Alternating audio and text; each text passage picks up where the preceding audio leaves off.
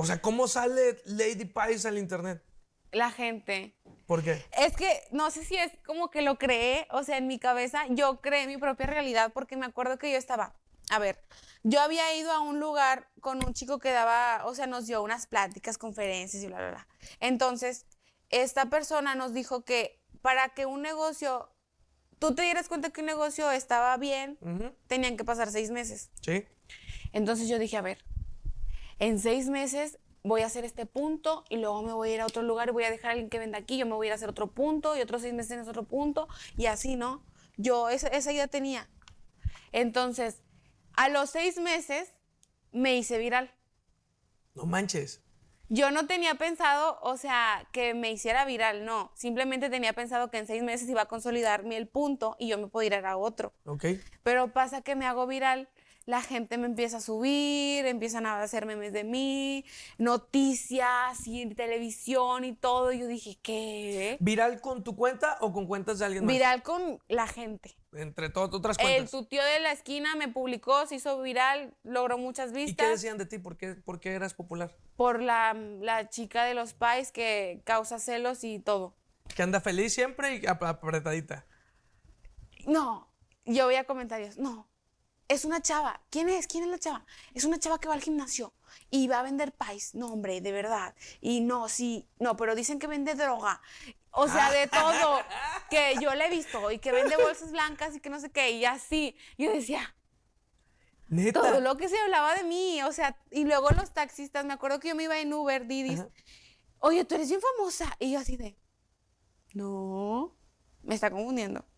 Porque yo no hacía videos ni nada, yo solo, pais, mi casa, pais, mi casa, vender, no vendí, chale, mañana me va a ir mejor. Pero no subía, ni siquiera mi familia sabía que yo vendía pais. Porque ¿En yo no le decía a nadie. Mi mamá y ya. Y ya te traían ahí popular en redes sociales.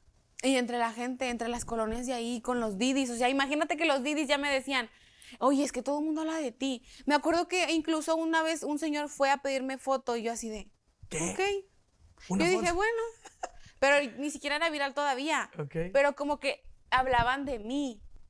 Entonces el señor pasa en un carro blanco, me acuerdo, ese señor era güero de ojos de color. Me dice, oye, no, qué padre, yo te admiro un chorro, la estás haciendo bien padre, la estás rompiendo. Y yo así de, ¿De qué habla?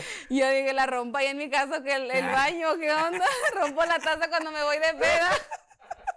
La ando rompiendo, ¿ah?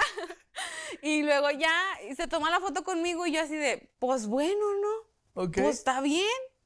Y luego ya, Pues chido. Mi primera pues foto. chido, wow, no, pues qué padre. Y luego en eso, después de un mes y medio, me hago viral. ¿Con cuál video? No te digo que la gente... O sea, el, que- el que sea. Eh, fotos, Fotos. fotos, hablaban de mí, memes, y tu novio que pasa por la México para ver a la morrita de los pais. Así.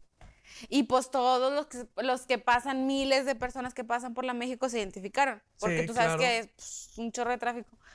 Y yo así de, ¿qué? ¿Están hablando de mí? Y yo viendo, ¿no? Yo viendo los memes y todo, y que la chirigüilla, y que ni se bañe, que seguro huele bien feo, y que ya regresas a tu pueblo. Yo dije, ¡no! Horrible, me sentía mal. Me puse muy triste. Neta. O sea, sí te dio depre post fama. Pues yo estaba, yo estaba bien feliz, ¿no? En mi mundo, yo me sentía la más guapa, la más linda. Y luego que te digan cosas bien feas. No, siempre, siempre pasa, ¿eh? Y no va a ser la primera vez. O sea, siempre, después de una subida así viral de fama, siempre llega una caída de hate bien cañón. No, pues es que mi, mi subida fue de hate. O sea, yo llegué y hateada. O sea, lo primero fue, pinche morra, yo no sé por qué le hacen tanto argüende, si está bien fea, ni que fuera Kareli Ruiz. Te amo, mi amor, Kareli Ruiz. Ella sí es una mamazota. Ni que fuera Kareli Ruiz, ¿para qué le hacen tanto pedo? Se ahogan con tan poquito. Y yo así de... Así. Yo dije, no, ya me daba, me daba coraje que me vieran en la calle, ya no quería ni vender país. Se puso buena la entrevista, ¿no? Te invito a que veas el video completo aquí en mi canal de YouTube. Y también puedes ver otras entrevistas de La Cosecha Podcast con más invitados y diferentes temporadas. Suscríbanse porque queremos llegar al millón de suscriptores. Gracias por vernos.